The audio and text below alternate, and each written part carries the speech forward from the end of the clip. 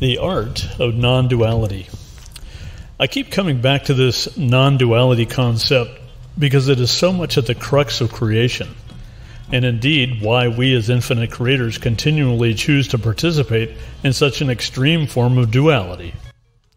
It is a dramatic world of opposites, contrasts, and all the messy gray areas in between.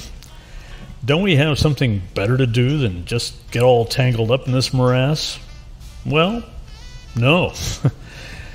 you see, by experiencing and being these extreme states of opposites, we come to know ourselves as infinite beings. By the sheer contrast of the non being and solidness represented by life here in planet rock, it reveals to us our infiniteness. Most of what we experience is what we are subconsciously co creating with all these other infinite creators.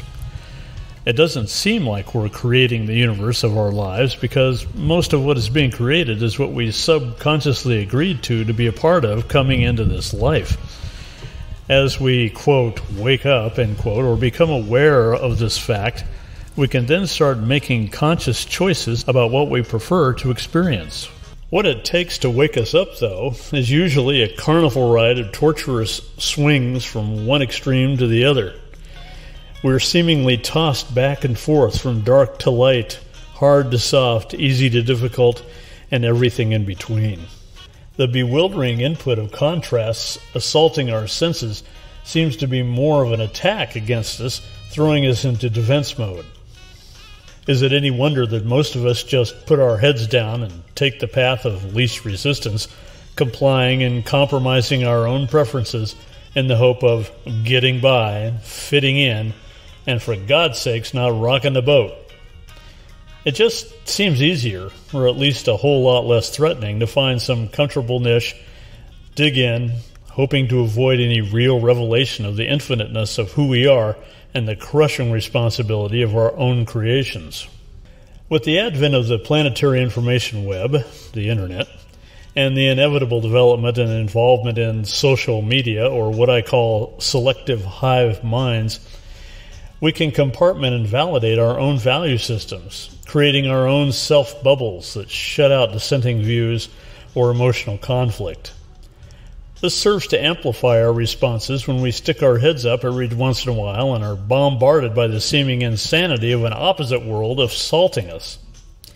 We either quickly duck back into our comfort zones or take up arms to attack those opposing our niches we've become so attached to, mostly in self defense.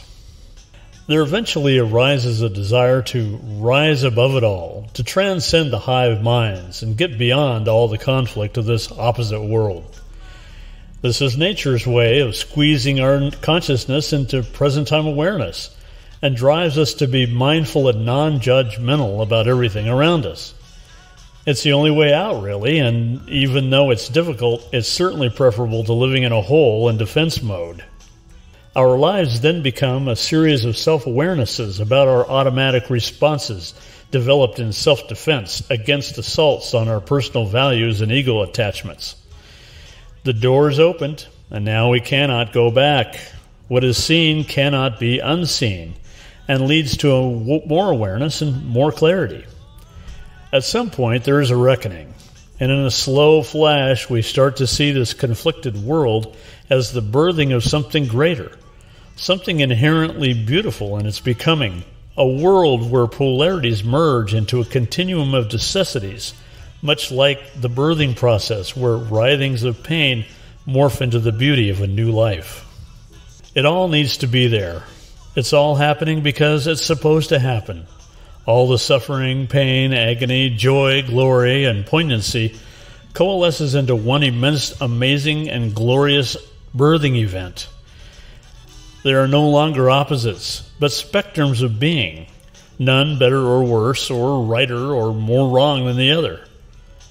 Without the one, there cannot be the other, and both are required for what is being wondrously created. It becomes a matter of dropping all our requirements of what should be, uncreating all the evaluations, judgments, and conclusions about what we see and experience out there. And by doing so, out there becomes in here. And at last, we have a shot at truly creating the glorious world we've always known is possible. You have been listening to This Quantum Life by Boyd Martin. Brought to you by the Quantum Health newsletter from Pure Energy RX. www.pureenergyrx.com.